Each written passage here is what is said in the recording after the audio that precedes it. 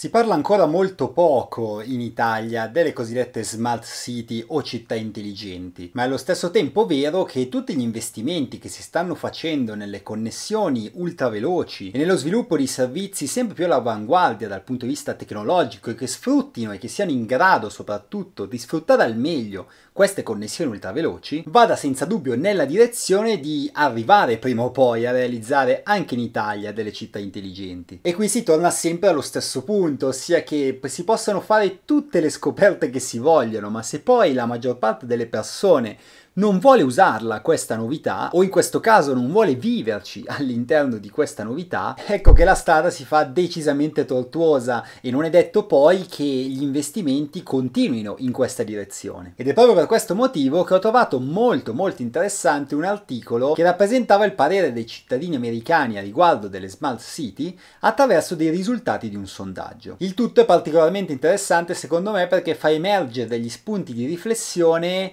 anche non poi così così consueti e che possono dar vita a un dibattito molto interessante, quindi vi invito sia a commentare qui sotto con quello che pensate voi di questi risultati, ma soprattutto ci terrei che rispondiate voi stessi a questo sondaggio attraverso le domande che vi lascio qui sopra nelle schede. Ok, partiamo dalla primissima domanda che è anche quella più scontata, ossia vorresti vivere in una città intelligente? Il 66% degli americani ha risposto di no e questo è un dato abbastanza curioso perché fa il pari con il risultato della seconda domanda che è ma internet e la tecnologia hanno migliorato la tua vita? A questa domanda infatti l'81% delle persone ha risposto di sì.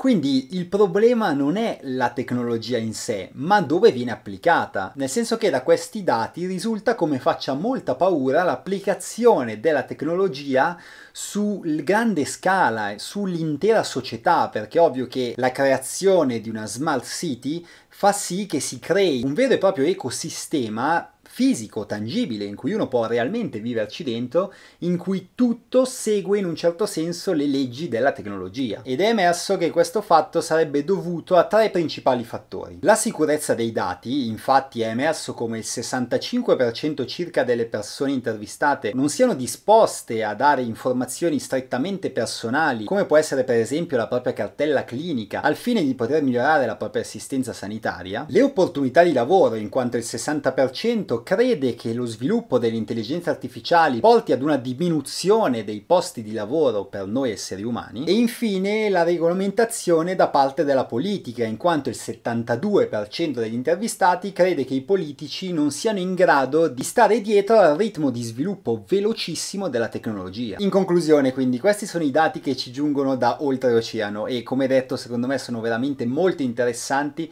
e spero davvero che aprano un dibattito qui sotto e nel sondaggio sondaggio che vi ricordo essere qui sopra nelle schede. E ora, come anticipato prima, non mi resta che aspettare i vostri risultati per poi poterli commentare insieme tra qualche giorno.